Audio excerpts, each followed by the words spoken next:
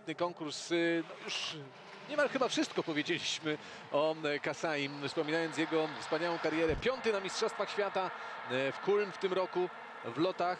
Teraz e, ta odległość 230 metrów, a on ląduje w okolicach rozmiaru skoczni. Pięknie, z gracją, wspaniale, dostojnie.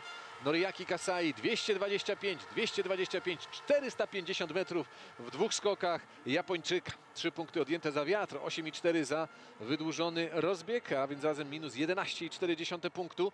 Noty dwie dziewiętnastki, e, trzy razy 18,5, wysoko oceniony skok Japończyka, ale tak powinien być oceniony. Niezachwiane lądowanie, ładny telemark, e, praktycznie niewzruszony w locie i w tym momencie, na którym na drugim miejscu Noriaki Kasai o 3,5 punktu za Kennethem Gangnesem. I wielkie, wielkie gratulacje.